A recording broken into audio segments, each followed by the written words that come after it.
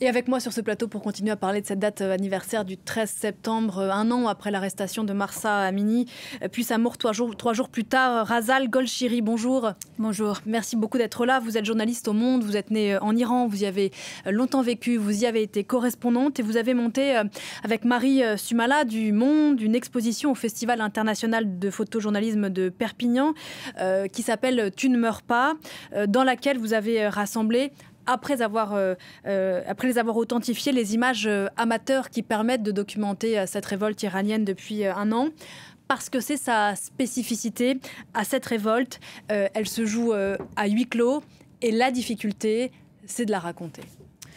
Exactement. en fait, dès le début du soulèvement, Marie Somala, qui travaille au service photo euh, du journal Le Monde euh, a rencontré beaucoup de difficultés à mettre en image euh, ce que je racontais en témoignage des gens que j'ai interrogés sur place.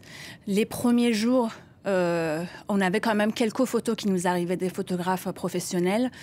Euh, depuis l'Iran, mais certains ont été arrêtés. Et tout de suite, on a, on a eu euh, rien euh, qui nous arrivait des, des, gens plutôt professionnels.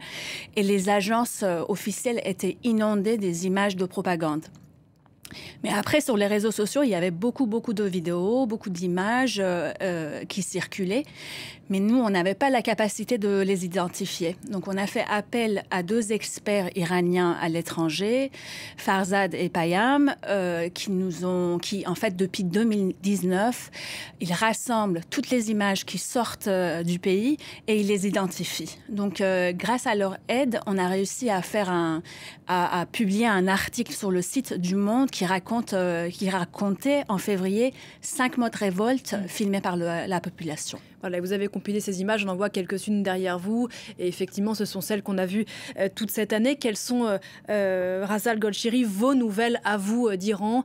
Un an, on est à, trois jours de l'anniversaire du décès de Marsa Amini et un an après son arrestation. il y a eu beaucoup d'arrestations euh, un peu partout dans le pays, euh, bah, notamment dans la région, les régions kurdes d'Iran. Très forte tension à l'approche de la Voilà, et, euh, et des caméras ont été installées partout dans les villes kurdes, pareil, et des arrestations partout dans le pays, notamment parmi les proches des victimes de la répression de ce dernier mouvement.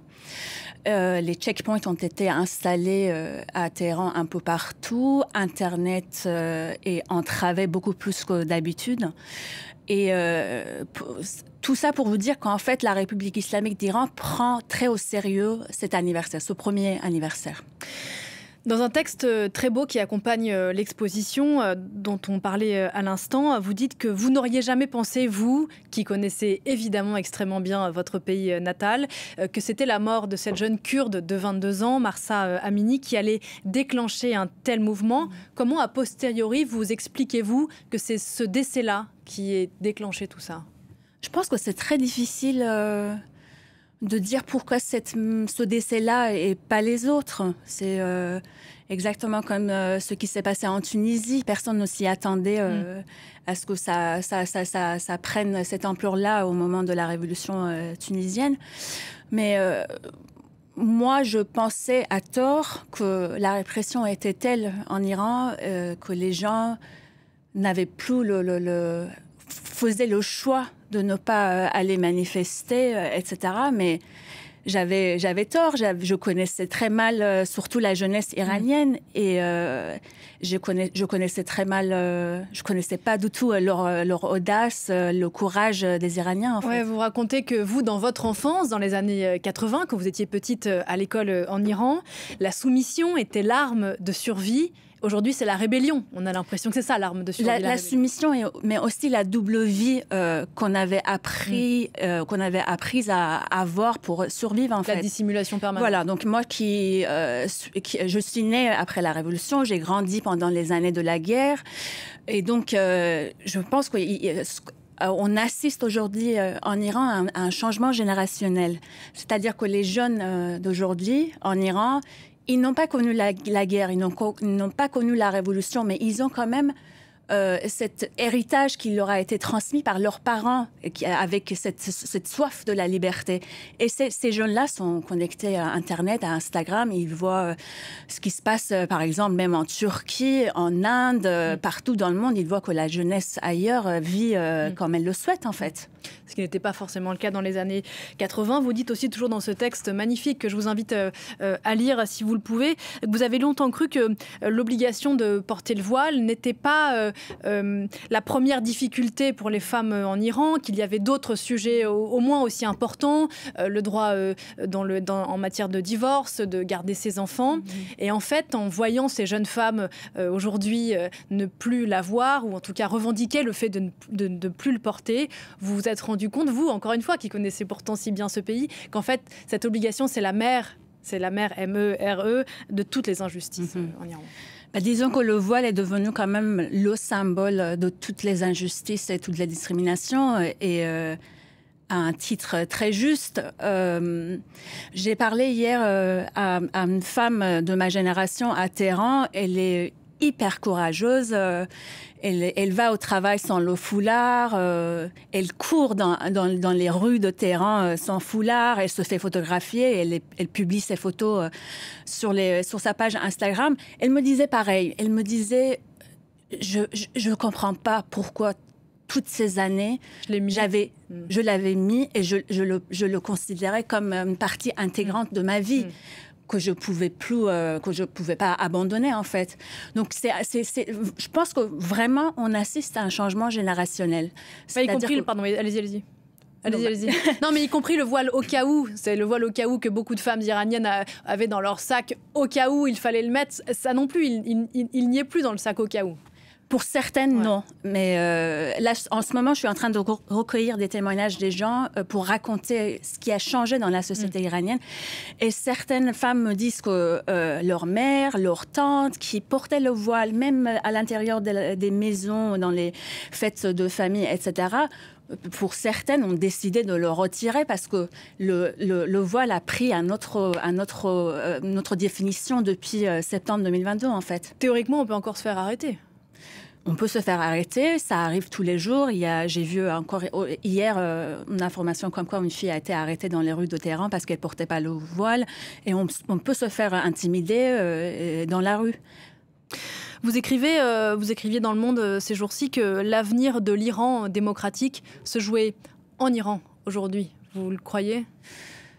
Hmm, oh, j'ai écrit cette phrase-là pour euh, accompagner euh, cinq lettres de, de, de, de, cinq prisonnières politiques euh, en Iran. Elles viennent des champs très différents de bataille. Il y a un environnementaliste, il y a une, une syndicaliste, etc.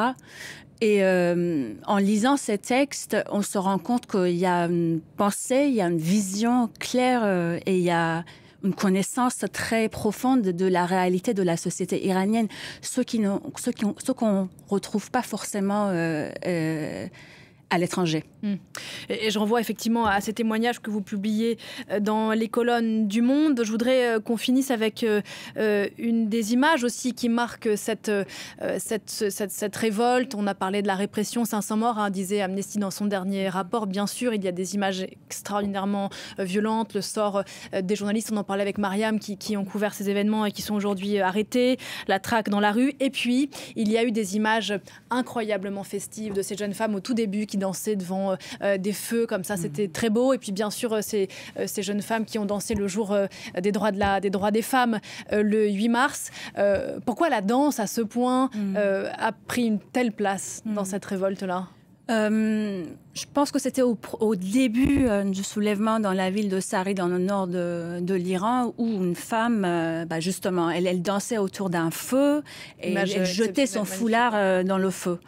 Et à partir de ce moment-là, à chaque fois qu'un manifestant a été tué, sa famille publiait les, les, vidéos de, de, de sa danse dans un mariage, dans un anniversaire, etc c'était une manière pour les familles de rendre hommage à la vie perdue, au combat et à la libération du corps qui est quand même au centre de ce mm. mouvement.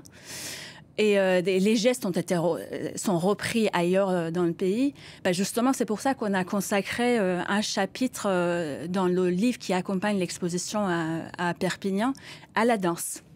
On les voit derrière vous, d'ailleurs, ça leur a coûté cher à ces, à ces cinq jeunes filles. Et je crois, pour la petite histoire, que le bureau euh, de votre père euh, donné sur cette cour d'immeuble. Euh, ce livre, donc, Tu ne meurs pas, pour la petite histoire, Tu ne meurs pas, c'est ce que l'oncle de Marsa Amini a écrit sur la tombe de sa nièce, des paroles ô combien prophétiques. Effectivement, un an plus tard, on parle toujours d'elle. Merci infiniment, Razal Kolchiri, d'être venu ce matin sur ce plateau. On retrouve tous les témoignages que vous compilez d'Iran sur le site internet du Monde, bien sûr. Merci encore, on va se quitter en images avec ces Iraniennes qui dansent et on se retrouve juste après la pause. À tout de suite.